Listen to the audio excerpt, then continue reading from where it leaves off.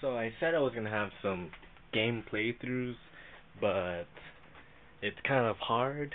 I don't have a mic. I want to put commentary on it, and if I don't put commentary on it, it won't be interesting. So game playthroughs will take a long time for me to get used to.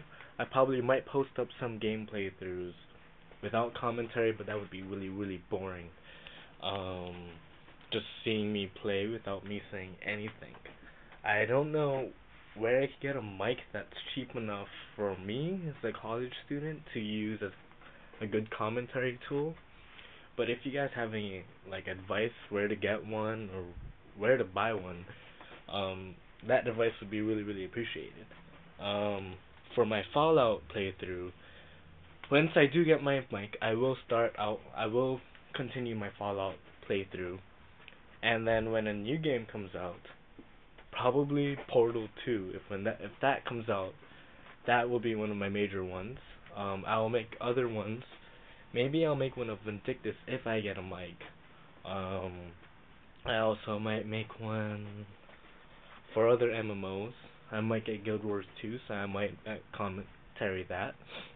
So there will be a lot of games for me commentarying about, but I don't know.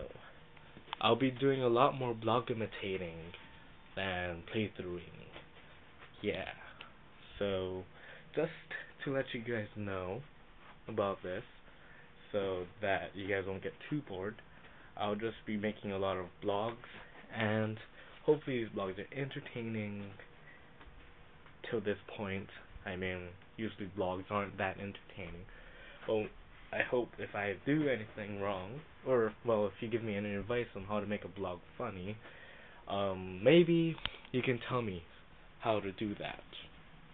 Um, hmm. Because blogamatating is hard, really, really hard, especially doing it in a room that's messy as heck. But anyways, I hope you guys listen, and I hope you guys comment and subscribe. Thank you, world. Bye.